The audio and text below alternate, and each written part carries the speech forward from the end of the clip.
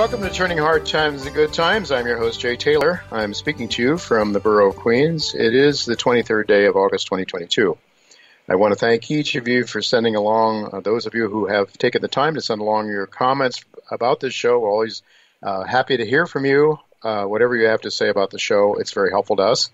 Uh, also, want to thank our sponsors for uh, I want to thank our sponsors for making this show economically viable. Our sponsors for today's show Irving Resources, Novo Resources, Eloro Resources, SK Mining, Timberline Resources, and Lion One Metals.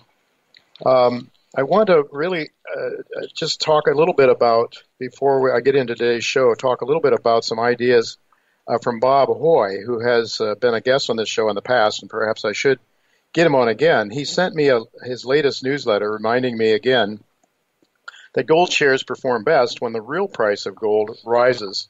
What Bob means by the real price of gold is not the price of gold in dollars, but the price of gold relative to the price of uh, materials that are used to get gold out of the ground.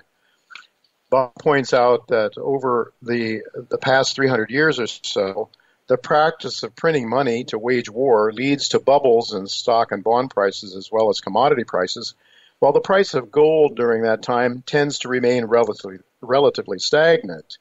But then gold miners have a tough time making money when you know the cost of getting the stuff out, getting gold out of the ground, uh, is going up relative to the price of gold. But when you have the bust after these boom periods, what happens is that the the, um, the price of getting gold out declines, getting gold out of the ground declines, and so the margins for mining companies tends to go up. And this is uh, proven to be true over major bull markets for gold and gold mining shares. Uh, the 1930s, for example, and more recently, uh, 2008, for a couple of years right after the uh, financial crisis, we saw this happen. Well, Bob also points out that there are uh, several things that you should be lo- on the lookout for uh, four things actually that he outlines in his newsletter. One is that gold should rise relative to the price of copper, Dr. Copper, as some people call it. The gold silver, that is, gold to silver, should rise. The price of gold should go up relative to silver. And long term interest rates should be increasing in real terms. And the senior currency, which of course uh, is the dollar still at this point in time, the dollar or the senior currency will get stronger relative to other uh, relative to other fiat currencies.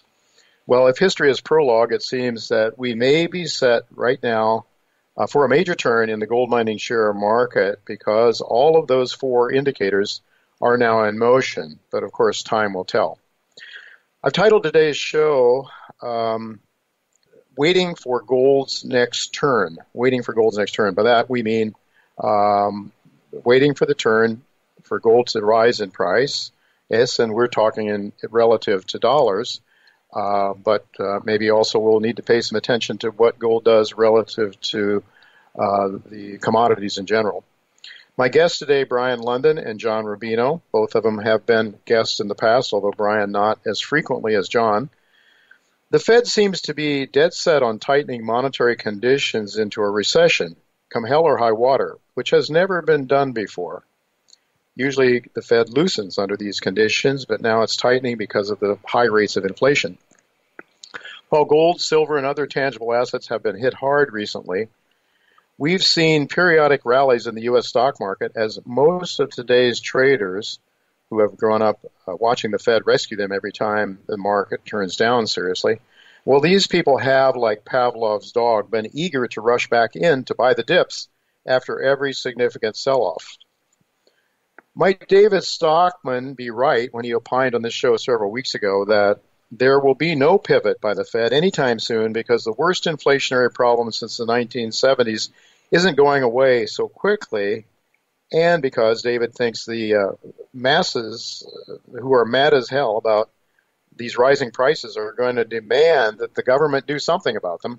And if the Fed is going to do anything, the only thing it seems to know to do is to pull back on the creation of money, at least for a little while. In other words, uh, David, though, David thinks that the Fed is going to have to keep the brakes on for a protracted period of time because the inflation problem is so severe. And of course, it is uh, an inflation problem that is caused as much by the supply shortage as it is by uh, monetary easing, although the good Lord, there's been a ton, ton of trillions and trillions of dollars that have been pumped into the system.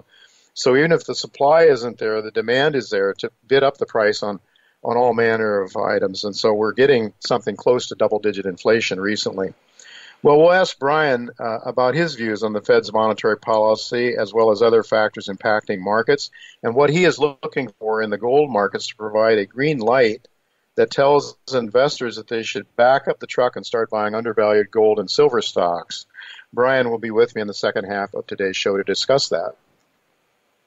Last week, Alasdair Macleod wrote in an article titled Geopolitics, The World is Splitting in Two.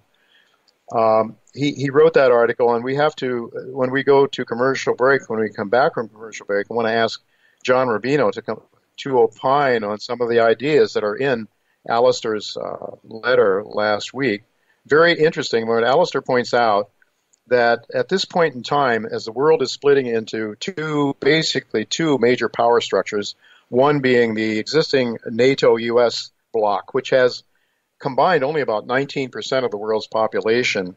That compares to 54% of the world's population that is combined in what might be considered the Russian China bloc. The other 27% or so of the world's population are in countries that are not at this point in time aligned to either side. But clearly, there are some major shifts that are taking place in the markets around the world, geopolitically, and then as a result in the markets that are destined to change our lives dramatically in the future.